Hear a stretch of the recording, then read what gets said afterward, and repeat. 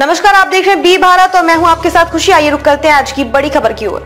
Modi cabinet ने प्रधानमंत्री जनजाति उन्नत ग्राम अभियान को दी मंजूरी। पाँच करोड़ से अधिक आदिवासियों को मिलेगा लाभ। मोदी सरकार ने जनजाति समुदाय के समग्र विकास के अपने संकल्प को आगे बढ़ाते हुए बुधवार को केंद्रीय कैबिनेट ने प्रधानमंत्री जनजाति उन्नत ग्राम अभियान को मंजूरी दे दी। इस योजना का उद्देश्य आदिवासियों की सामाजिक, आर्थिक स्थिति को बेहतर बनाना है। योजना पर कुल उन्यासी करोड़ रुपए खर्च आएगा, जिसमें से केंद्र सरकार छप्पन हज़ार तीन सौ तैतीस करोड़ रुपए देगी, जबकि बाईस हज़ार आठ सौ तेईस करोड़ रुपए राज्यों की हिस्सेदारी होगी। पाँच करोड़ आदिवासियों को लाभ होगा योजना के तहत देश के आकांक्षी जिलों और आदिवासी बहुल गाँवों का समग्र विकास किया जाएगा, जिसमें देश भर के तिरसठ हज़ार आदिवासी बहुल गाँवों को कवर किया जाएगा और उन्हें बुनियादी सुविधाओं और इंफ्रास्ट्रक्चर में सेचुरेशन मोड तक ले जाया जाएगा। इस योजना से पाँच करोड़ आदिवासियों को लाभ होगा। देश भर में तीस राज्यों और केंद्र शासित प्रदेशों के आदिवासी बहुल पाँच सौ उनचास जिलों और दो हज़ार सात सौ चालीस ब्लॉकों को ये योजना लागू होगी। प्रधानमंत्री जनजाति उन्नत ग्राम अभियान में भारत सरकार की विभिन्न योजनाओं के माध्यम से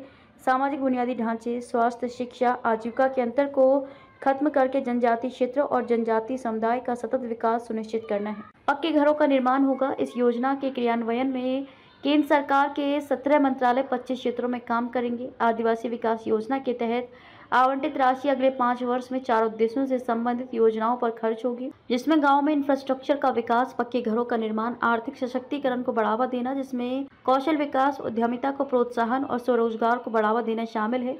इस योजना के अंतर्गत विभिन्न मंत्रालय मिलकर काम करेंगे, जिसमें शहरी विकास मंत्रालय 20 लाख घरों का निर्माण करेगा और पच्चीस हज़ार किलोमीटर ग्रामीण सड़क का निर्माण होगा। श्रम स्कूलों और हॉस्टलों का इंफ्रास्ट्रक्चर बेहतर होगा। गाँव के हर घर तक स्वच्छ पेयजल सुविधा, बिजली कनेक्शन मोबाइल मेडिकल यूनिट की स्थापना, आयुष्मान कार्ड एलपीजी कनेक्शन सहित सभी तरह की सरकारी सुविधा मुहैया कराना है। इसके अलावा सौ ट्रैवल मल्टीपर्पज मार्केटिंग सेंटर्स आश्रम स्कूलों और हॉस्टलों का इंफ्रास्ट्रक्चर बेहतर करना, सीकेल सेल व खून की कमी से निपटने के लिए केंद्र स्थापित करने के साथ की तरह की सुविधाओं के प्रावधान है।